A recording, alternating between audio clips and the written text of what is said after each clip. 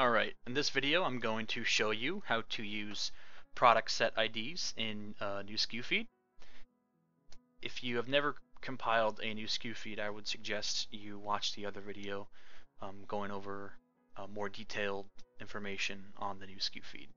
Um, this video is going to focus primarily on the product sets and how to do them. And what a product set ID is, it's simply groups similar products together. So for instance, this jacket, there are two different colors and four different sizes.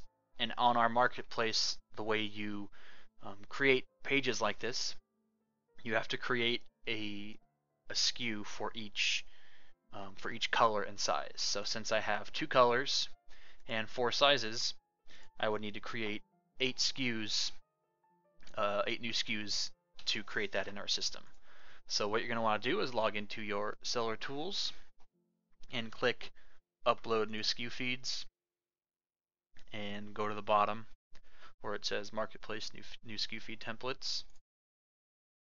And in this example, I'm going to be creating a product set for the clothes and shoes taxonomy.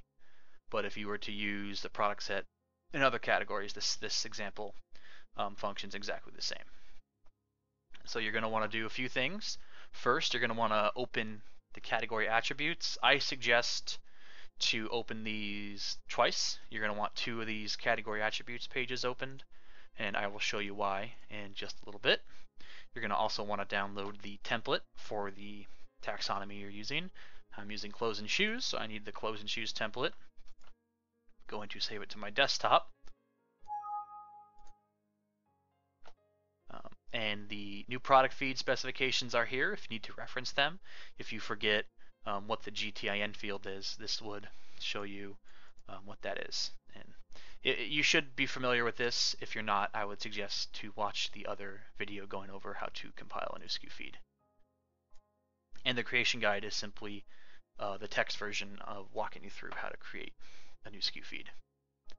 So let's go ahead and open the template I just downloaded. There we go. This is the template for clothes and shoes. And make sure you have these category attributes ready to go because we will need these in this in the feed. All right. So I am making uh, two different colors and four different sizes. So I need I will need a total of eight new SKUs in this uh, new SKU feed. So let's go ahead and do that. My seller ID eight times. The GTIN field, this is for the UPC. Um, if your products have UPCs, you need to put that here. If they do not, you need to request a UPC exemption from our integration team. Um, in this example, I have a UPC exemption. Um, for my test products, I'm going to upload um, but if you were to make your own products you don't have UPCs, you, if you make this feed and submit it to us without the exemption, it will error. So you need to request the UPC exemption if you do not have one. Manufacturer name, it's Brooks. Manufacturer part number, I have these all ready to go just to make this go faster. But these are all required fields and that's why I'm filling them out. Seller SKU, also required title. Now for my title, I'm going to show you what it is. Uh, I do not need to include the color, the size, or the gender because that's what the drop-down menus are for. That's what these are for. So you do not need to include green and large in the title because that's it's gonna it's gonna show here, and then they can look at the product attributes to see what the gender is. So for my products, I do not need to include the title, or I'm sorry, the uh, the gender, uh, color, or size. Description, it's the same description for each product because it's the same one, just different colors. So I'm going to copy and paste that. Oops.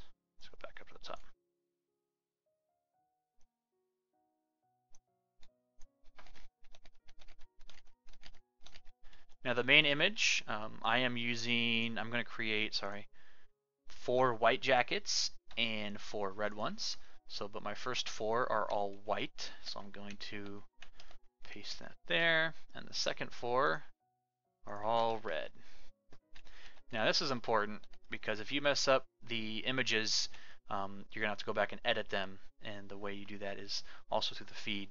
Um, so if I were to include the white image for the red product, people would view my listing and they would say, okay, blue, small, but if I compiled it incorrectly and shoot and show the red jacket, they might be a bit confused. So just make sure your images your images are right. You can add additional images, and between each URL, you need to add uh, the pipe symbol. I don't have additional images for my products here, but if you did, you could put them here. My weight for all my products is simply 1. Features, I have these already. Features are also separated by pipe, and what uh, what the pipe symbol does, it simply uh, makes a new bullet point. So I will show you what my features are.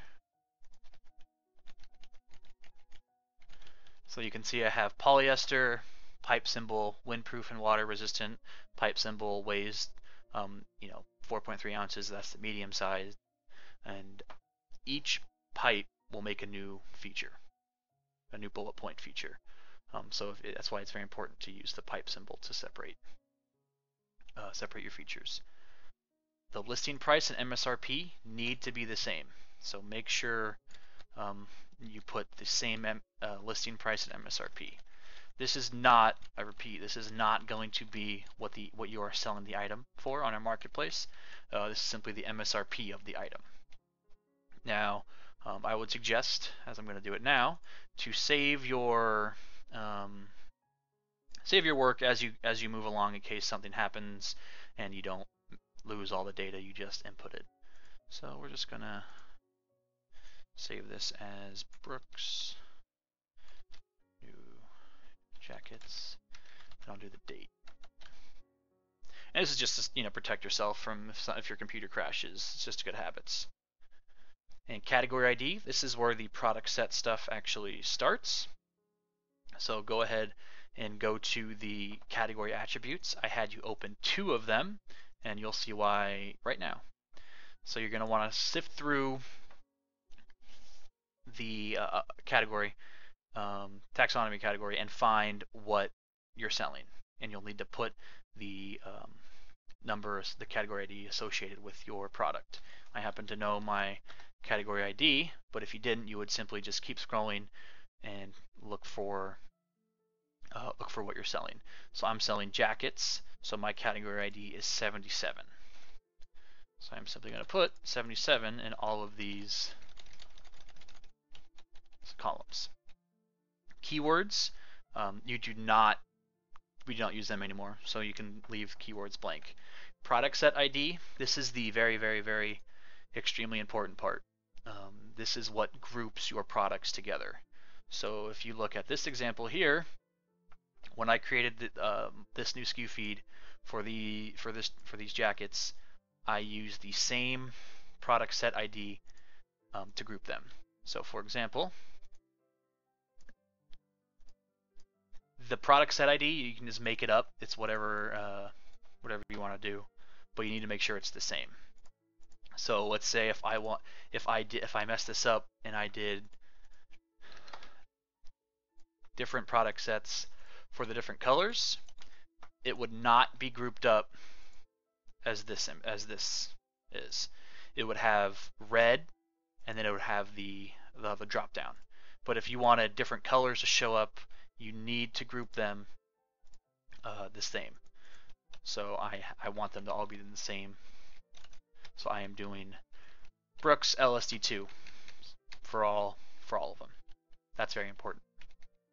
So the product set ID is what actually groups the products together. Very, very important. Now moving on to why I opened two of these up. You want to have one of your uh, uh, category attributes focused here, or um, where I highlighted, because we have category attributes which are required, and those are shown with the square brackets, or these guys.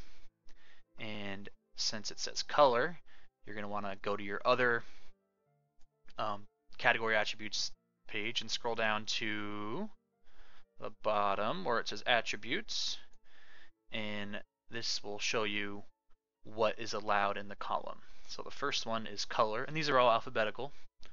So let's find color and it says enter any string value.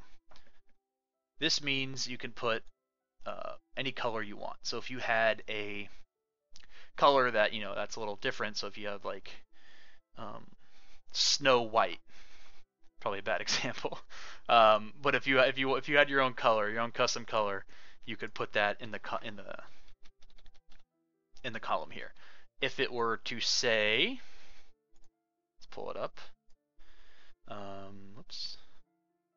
Here, if it were to say color class, you for the color class column, you could only choose one of the following. You know, beige, black, whoops, uh, beige, black, blue, brown. You couldn't use your own snow white um, color. And when it since it says enter any string value, we're able to do that. So for this example, let's just do it. First four were white, and the second we'll say um, American Red or Americana Red, because that's what REI said it was.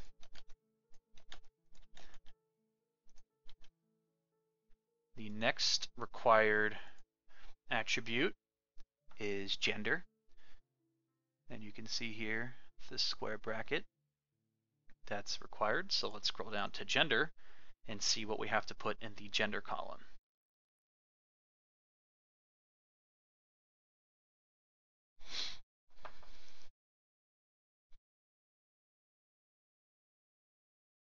There it is, sorry. So you're going to want to choose one or more of the following values. Mine are male. So let's find the gender. There it is. And these are simply all male.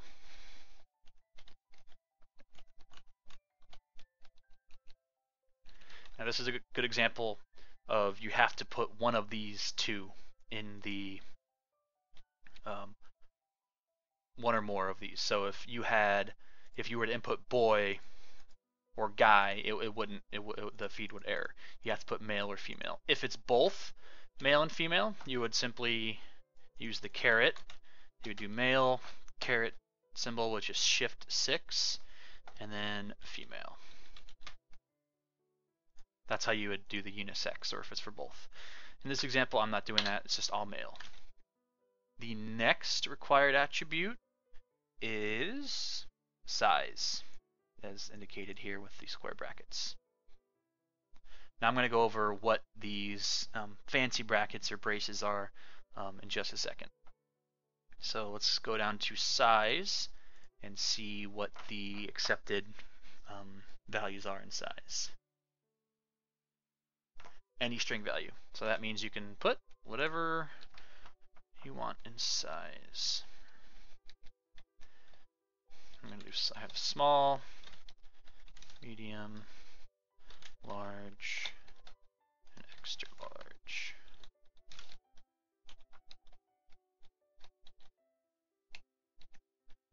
Now, moving back to the required attributes here, um, these fancy brackets or braces, these are what create the drop-down menus. So if you're watching this video and you and you're not doing this specific category ID, you're doing something else that has and you want to know if you can do drop-down menus.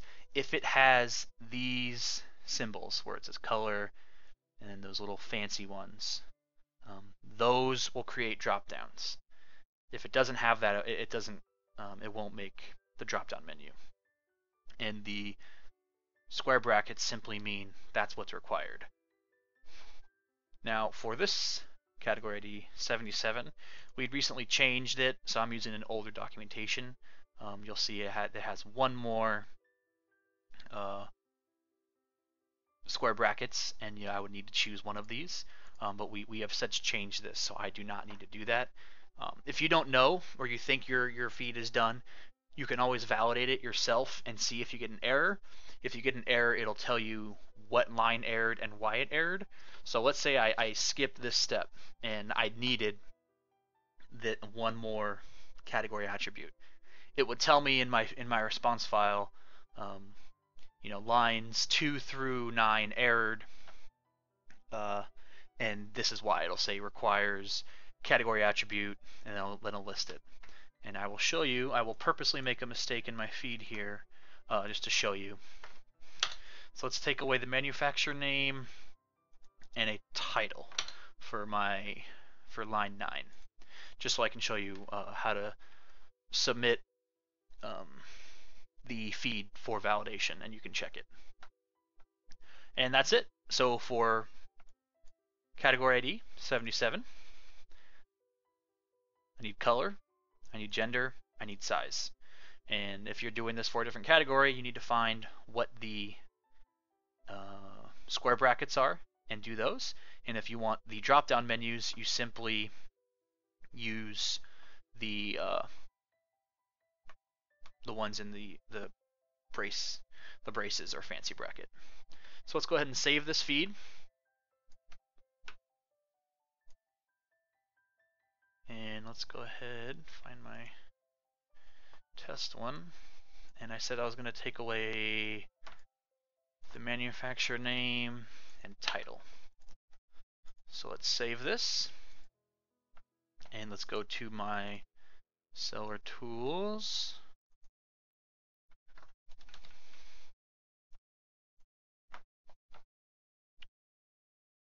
All right.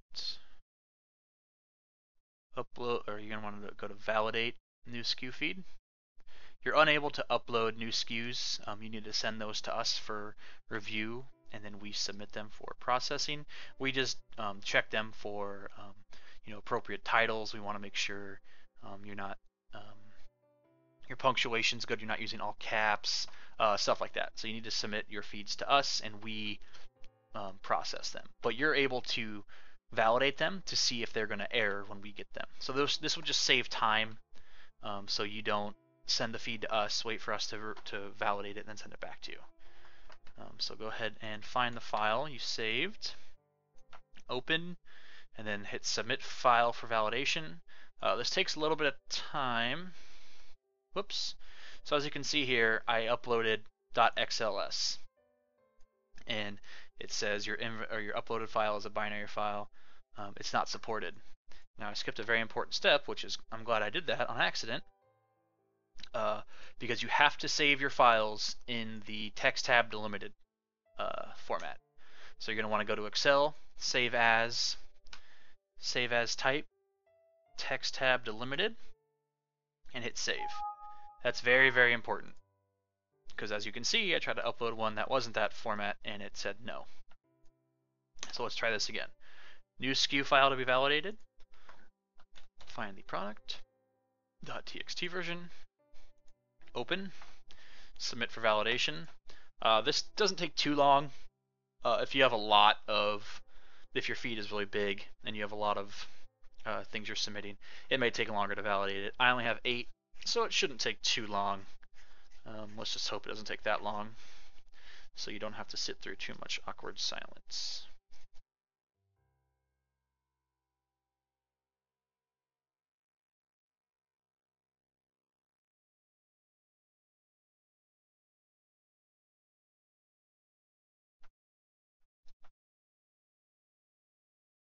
Perfect, there it is.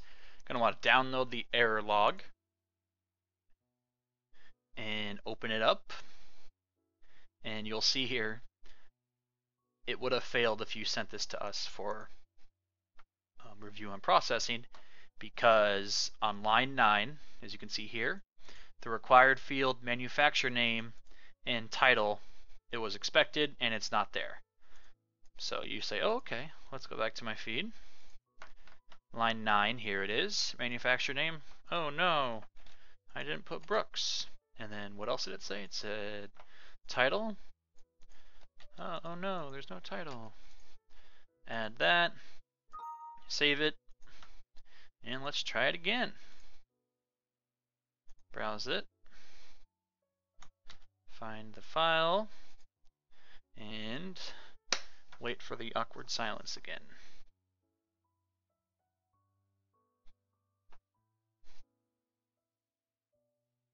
And if you ever have any questions or you're confused, um, just please email us. We'd be happy to help you. This video is here to um, help the majority of the people doing the product sets.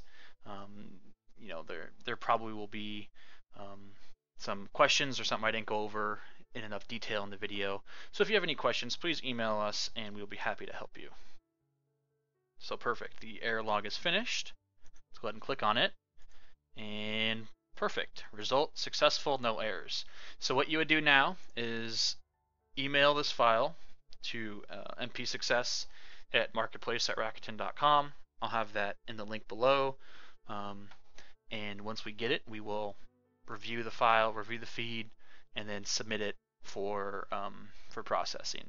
Then two hours after we submit it, it gets created in our system, in our product catalog, and then you would submit an inventory feed uh, to attach yourself to these products.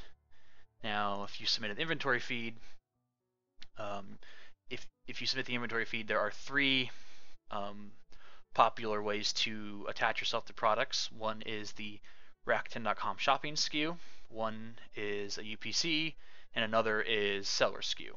Now in this example, you can see I don't have UPCs, so I wouldn't want to attach via UPC because it doesn't exist. You could attach Rakuten.com shopping SKU, but you don't know what, what the Rakuten.com shopping SKU is yet. So the most popular way when people have um, new SKU feeds and they don't have UPCs is view um, through the seller SKU. So you would attach, you would send in a UPC, um, sorry, an inventory feed, and using the seller SKU as the product ID type. And if you don't know how to do an inventory feed, lucky for you, I have a video going over how to do that. Um, so if you need to find that video, you can look through the channel and find it, or ask us and we can send it to you. And that should conclude the video. Um, it's very important to check the response files um, or validate your new SKU feed and check the response file because that will um, save you a lot of time of back and forth. Um, and that should do it. So if you have any questions, please email your ECC or our MP Success team, and I will have the email in the description below. Thank you for watching.